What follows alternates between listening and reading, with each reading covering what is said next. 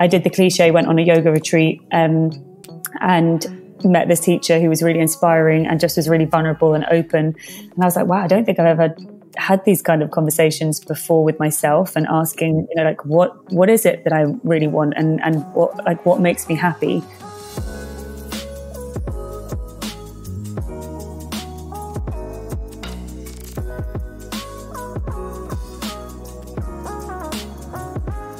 That was Maude Hirst. Hey everyone, Danni Pomplun, and welcome back to the Yogi Misfit Sessions.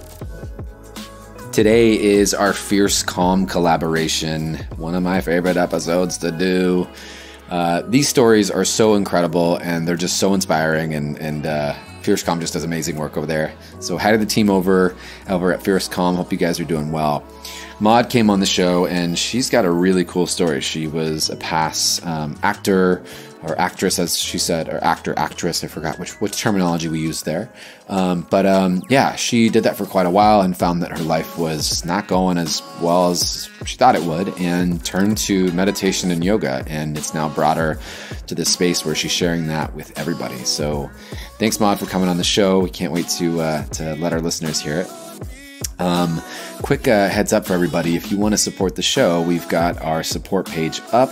There's a ton of free giveaways on there, and it really just helps us get these conversations out there to, uh, to everybody. Um, yeah, and uh, that's all I got for you guys today. Enjoy the show, and uh, thanks, Maude Hirst.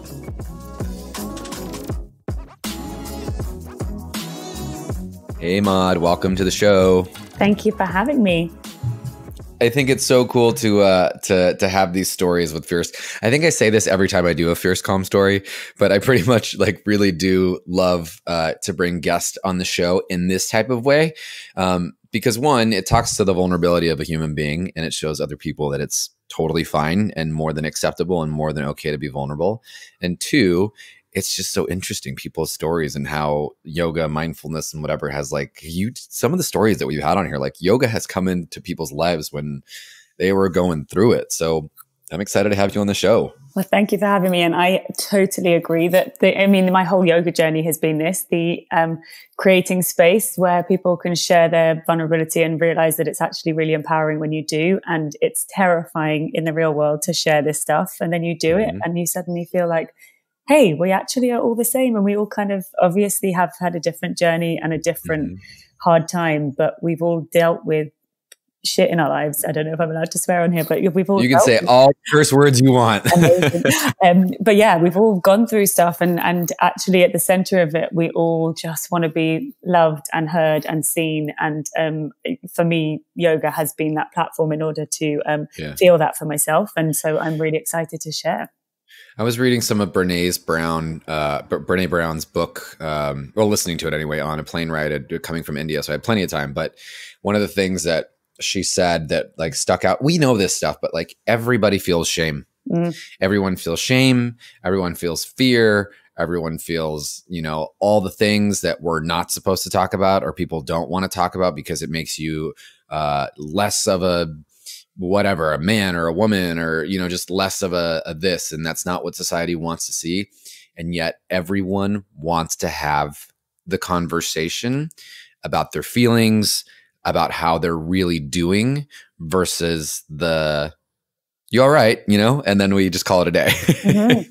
yeah, yeah uh, she's amazing and i think like I, everyone should read all of her stuff because that is that just to realize that we all feel that and if we can call it and you can be the first person in the room for example right now like i have i know i've come on here to share my story and that excites me but i'm still scared like the human experience is to have that fear and has is to have this like a feel the fear and do it anyway, which is what I always kind of say to myself. It's like just yeah. the thing that you don't necessarily want to do probably is what people need to hear and what you need to share to connect with people on a deeper level. Should we take a deep breath together? Yes, let's do okay. it. Okay. And those of you listening too, you should do this with us. But if you're driving, don't do it. well, don't close your eyes and do it. All right. So wherever you're at, me and Maude and you, those of you listening to the show right now, just take a nice tall seat. We'll close the eyes and we'll have this intention of stepping into our, our strength in vulnerability, this intention of speaking our divine truth, and this intention of just being exactly who we are today. We'll inhale and exhale. All right, we are here, Maude. We're here for you, and we're here for your vulnerability. yes, let's do it. all right, so let's hear. I want to hear all about your story. What was it like before you found yoga and meditation? And I want to talk about all the cool things that you're doing with it at some point too. But let's talk about your story and what it was like before yoga and meditation. Wow. Well, before I um, was raised by a single mum um, who is incredible, but um, definitely had some um, issues kind of growing up around trusting men and then um, from a young age started performing. And i didn't really put the two together until kind of later in my life but i always felt like this need to uh, be loved. I guess we always have that. But um, i found performing and i became an actress um, or an actor depending how you want to say it. And mm-hmm. Um, i went to drama school quite young and then um, started working from the age of 18 professionally in TV shows. Um, and I loved it. I really thought that like I had found my thing and I felt like, um, I was being seen and I felt that I finally was being recognized as the person I was. And then 10 years into my acting career, I suddenly was like, I don't know if I'm that happy.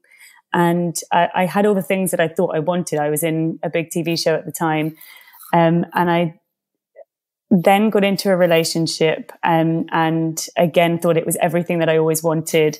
And we had like planned our future and we bought a house together and then that relationship um, broke down. He cheated on me and I had to sell my house and went from thinking I had everything. I just come out of the show and I thought like I'm going to be in every big TV show from this point on. Everything felt like I was on this kind of uphill thing. And then the breakup happened and I had to just have a moment where I took a breath and I was like, I have two choices. I either at this point repeat these patterns because they kept coming up, meeting the kind of bad guy and meeting mm. something that kind of was um, a representation of, um, I guess, my dad, that I'd like repeated these patterns of behavior and I was going to meet somebody or I was scared of commitment. So I'd always kind of self destruct at some point. Or, Don't we all know that story? yeah. Um, and, um, and I, then I was like, actually, I think, or the other path is, I need to find out what makes me actually happy because I had all of this stuff that I thought on paper would have made me happy. And there was some part of me that just was still wanting something else. Like it didn't feel right. There was something missing. And um, I did the cliche, went on a yoga retreat um, and met this teacher who was really inspiring and just was really vulnerable and open. And I was like, wow, I don't think I've ever had these kind of conversations before with myself and asking, mm. you know, like what what is it that I really want and and what like what makes me happy.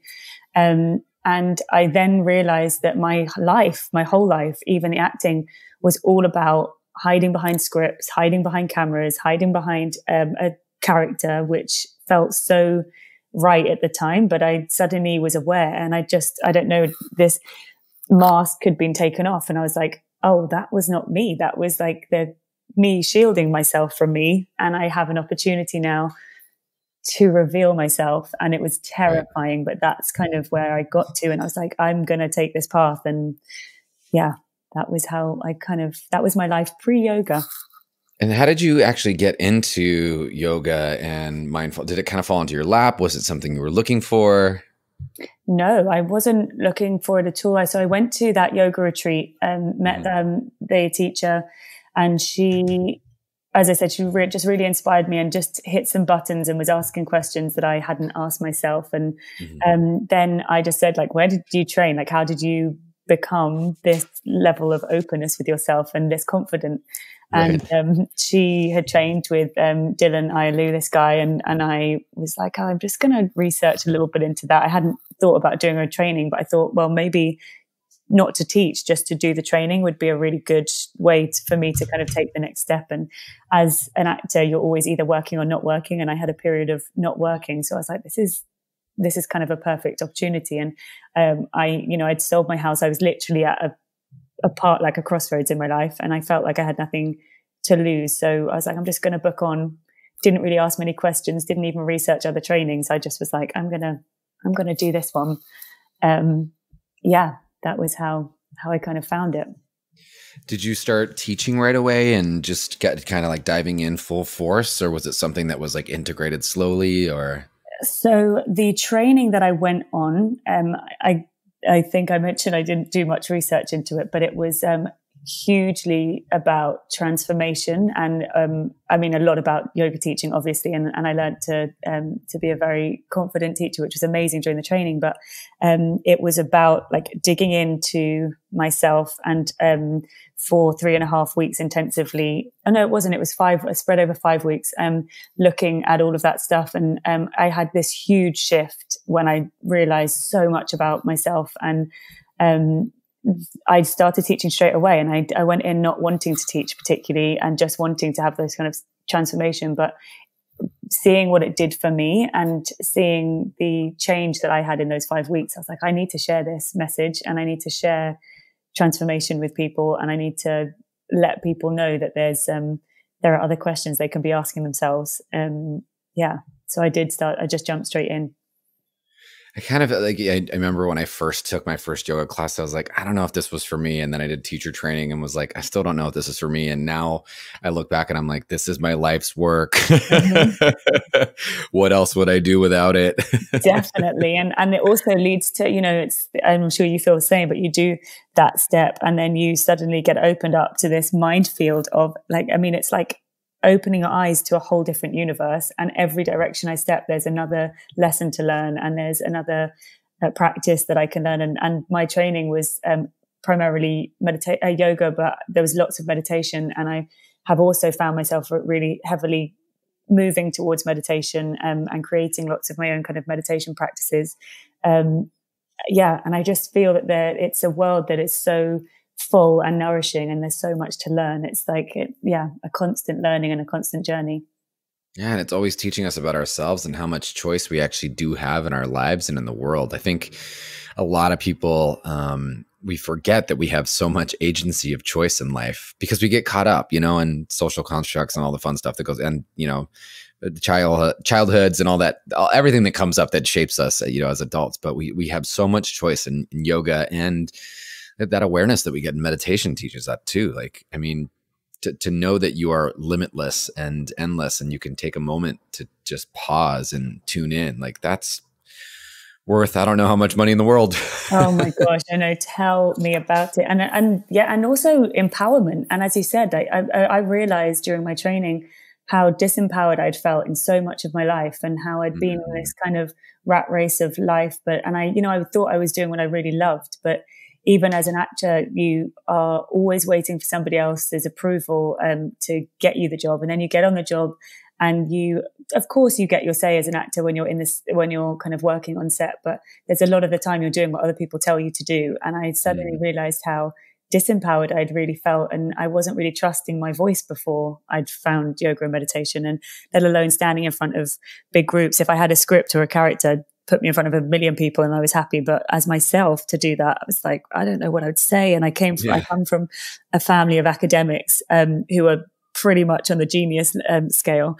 And it, then I was this kind of performer who I was, I was always hiding behind these people because it meant that a more didn't have to be revealed.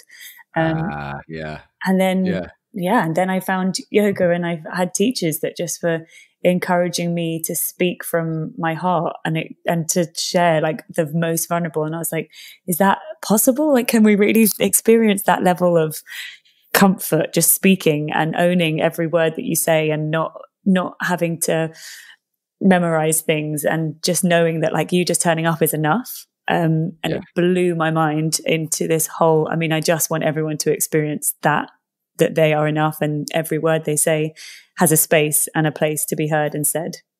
Yeah. Well said. I mean, well said. Yeah, that's that's that's the goal anyway. I think we, but we can. I mean, you know, as a teacher, we can say this until our faces turn blue, and people have to just. We were talking about this just before we started recording, but people don't know until they know. Mm.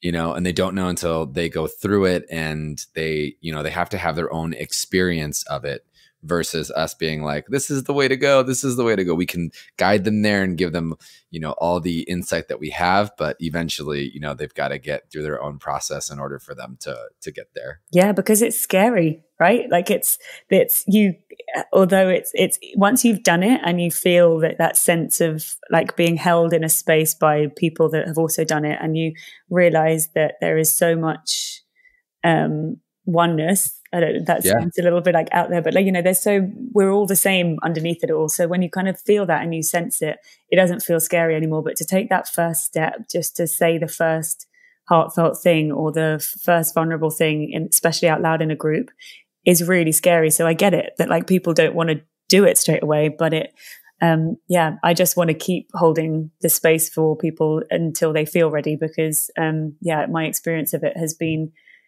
um, a total life changing turnaround where I feel um, confident in a not arrogant way. Just I'm okay with myself in a not perfect way. Yeah, that's it. And also, it's like it reminds us that we have personal responsibility, and that's scary. Mm-hmm. yes, it is. What are you up to now with all of your yoga? Now that you're, you know, it sounds like you're moving and grooving with it. I like that moving and grooving. Um, I have had an amazing, amazing two years. I feel very um, fortunate, and I think you said earlier that you know you uh, you started it and then you realized this was kind of your life's work. And yeah. I feel that I was very fortunate that I came from an acting career that I had a bit of a platform um, mm-hmm. when I kind of started out in yoga, and um, I realized that I could get in front of kind of larger crowds. And so I really wanted to try and make as much kind of impact as I could. And I also realized that lots of my crowd was online. Um, mm. So I started, um, I mean, I did lots of classes in London, um, but I started doing lots of, um, online stuff, sharing stuff on my kind of social media, trying to use social media for positive rather than um, negative effect. Um, and I started my company Energy Rise, which um, I'm so proud of. But it's basically um, a hub where I believe that all of us are so different and unique that not mm-hmm. one mindfulness practice is going to fit for all of us. Some people need a physical practice um, and a strong physical practice. Some people need a, a seated meditation. Um, other people need a movement meditation, and other people just want to breathe. And I wanted to have something that some uh, that people could come to. They could try everything and understand what kind of mindfulness is rather than having to go to a yoga studio, a meditation studio, a breathwork place and and try like one class every month. It's like just come try and understand what mindfulness is and then you can from there find out what's going to work for your unique needs. Um mm yeah, so that that was kind of my now my mission is that you, there is a path into mindfulness for everybody. I believe everyone should be doing it, even if it's just awareness of breath. Um, there's yeah that there is a place for people to discover that like what is right for them. So wait, meditation isn't one size fits all. No. it's how have you how, yeah i know right? We all it's just like uh, like any other yoga pose you know what i mean? People try to squeeze one simple thing into their body and make a shape work for every single person out there and it's just not the way it works. We find a way that makes it or you know we customize it for for what you're working with and what you've got and you're absolutely right. Some days seated meditation is great and then other days you need more than seated meditation. You need to move or you need to connect or you need to be out in nature whatever it is that that you need to do. It's yeah. totally different. Sometimes it's on a case by case basis too. Definitely. I think it goes through like how you're feeling emotionally day by day. And sometimes, I mean, I, that's um, another reason why I'm, I'm glad that I've kind of got different mindfulness practices behind me now. It's that if I wake up and I, you know, I have energy and emotion to shift through me, I know that I need to physically move my body. Um, and other days where I'm feeling like my mind is chattering and it's too much and I'm feeling kind of any stress and anxiety, I know that I kind of need to sit and be still. So it's kind of just listening, knowing how to listen to your body and what it needs. Um, and I've also created a movement meditation, which um, is one of my favorite practices to teach, um, which combines I guess everything, but it's about connecting back to your intuition in a way that we used to do before the age of two. And we used to express ourselves through movement all the time. And then as we get older, we compare ourselves to everybody around us. Um, and by the time we get to our adult life, we often barely move. We, especially mm-hmm. not in kind of a free flow way because we become so conscious of comparing ourselves to other people. Um, right. And so the movement meditation that I've created is to a soundtrack, and I guide people through the elements, and then just encourage people, often with blindfolds. So it's a very like introverted experience um, mm. that they can just move to whatever the body wants to do to the music, and um, it's I think a beautiful way to um, combine all different practices and, and really reconnect to yourself. Is that something that's done in like a like a private one-on-one setting or is it like group setting with everyone doing that like movement kind of tune in meditation? I do both. So I often teach it in big groups. Um, I actually love teaching both ways, but um, big groups is amazing because you get the group energy. Um, but often if I'm in big groups, I love to have people either blindfolded or closing their eyes so that they just feel safe in their own space. So it's, and again, taking that level of comparison away um, so that they feel safe to explore themselves in maybe ways that they haven't since they were young. Mm, yeah. I like that. I think like it, like what you said is like coming back to um, to that innocence of being a kid, mm. where you would just like didn't matter where you were, who was around, you'd strip down. Half the time you were running around naked and just running around and dancing, acting a fool, or wherever it was. totally, like that blissful like innocence, where yeah, you just you don't care what people think, and you don't try. You're not trying to impress anybody or even yourself. You're just being that like it's the kind of dream isn't it with all practices? Like how do you get back to that level of just pure comfort i think within yourself? What do you see the changes in people when they work through something like that or go through it? I'm sure it's got to be cool to see uh, you see probably some really cool transformation happen from it I, I would only assume. Yeah i do and i it, lots of different things a couple of things that kind of come up often is people can get really emotional because they realize how disconnected they are from their body. And, and often in a first practice, there'll be people that feel like they can't move at all because they're so not used to trusting themselves. Um, and so although the practice hasn't been what they maybe would would have expected, which was for them to actually get into this kind of flowing movement. It was a huge realization. And for somebody to realize that about themselves is huge, you know, that they haven't been listening to their bodies and it gives them an opportunity to, I mean, come back, work through it, but also for them to start just finding different ways to actually reconnect to themselves. So that's one thing that's amazing to, to witness when somebody has a huge realization like that.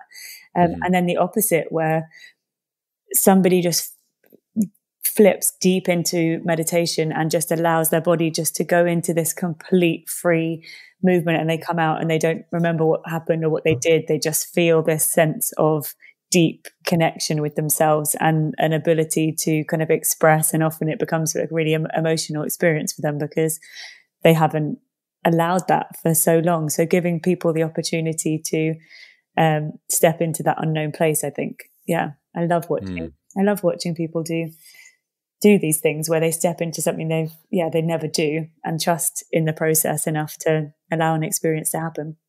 When you look back at some of the practices that you originally did like when you were being introduced to all this what were some of the biggest ones that impacted you? And how did you see them like change you? There's some things that i've done like uh, like for instance like my morning sadhana practice after doing certain like pranayama techniques where i knew within like days that it was that i was immediately different. Mm-hmm um, breath work. Um, I actually spent after training. I actually spent some time in um, LA, and I was with a good friend of mine there, and we went to loads of different um, classes. And I went to um, some pretty deep breath work sessions, um, and I had like out of body experiences. I just all the stuff that I wasn't aware that just the breath, changing your breath, so it's you, your own body doing it to itself. Like there's nothing, not taking anything. You're not having to do much. You're lying on the floor and all you do is change your breath pattern and then mystical experiences can happen. Um, yeah. So that for me was um, pretty impactful. Um, and energy work as well. Um, I'm trained in a particularly energy uh, energy healing modality that uh, when I first experienced it again changed my whole course. Uh, it's called theta healing. And mm-hmm. so you kind of in the theta brainwave. Um, and that for me was the really deep but gentle process where you can shift huge things in your life instantly. Um, and I guess my life's never been the same because I've managed to heal myself of physical things and emotional things um, pretty instantly, which is, I guess, in my old version of myself would have thought wasn't possible and would have been like magic, but it's magic seems to be kind of real in my life. totally, for sure. Are you kidding? Absolutely. I mean, magic is just another way to say science, you know, and science is another way to say magic. We just look at it in different lights. A hundred percent. And also how exciting that we're living in a time where science is proving all of it. So it's not what used to be seen as as crazy and woo woo is is actually now science, as you said. There, you know, Joe Dispenza, uh, my friend Joe yeah. I don't know if um, you've heard of him in LA. Um, he's amazing, and he's doing. You know, they're both doing th- the science to prove exactly what they're doing energetically, and uh, that's amazing. I think it's going to change the course of how we live. I think from this point in. I think the stuff that Joe is doing with the quantum field is like completely mind blowing and also really cool to conceptualize what it is that I'm feeling or where it is that I'm going or what's happening when I go into deep meditation like that. Yeah, it's amazing. And I think what the Western world needs is science, right? In a way that lots of other countries have still have lots of faith and religion and, and so they find that mystical stuff quite easy to believe in a way. Um, obviously, I'm generalizing, um, but I think, uh, especially in London, where there's not there's lots of different religions here, but there's not kind of religion isn't necessarily the primary belief system here. Actually, science is, and it's become um, something that people feel that they need in order to experience things. And so now that science is backing it up, people are not afraid to try things that I think they wouldn't have before. Um, so yeah, I think what Joe's doing is incredible. That's amazing. I love it.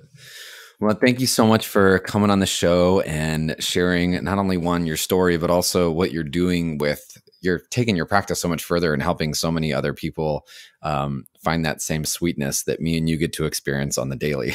Well, thank you for having me. It's always um, a pleasure to share. And um, yeah, I have lots of. I'm trying to. I mean, obviously, right now it's a it's a time where we can't physically all be together, but keeping community going and sharing as much as um, as I can. So Energy Rise is still um, energyrise.co.uk. I'm going to keep putting content out there for people to kind of stay connected um, and lots of retreats that will be coming up as well.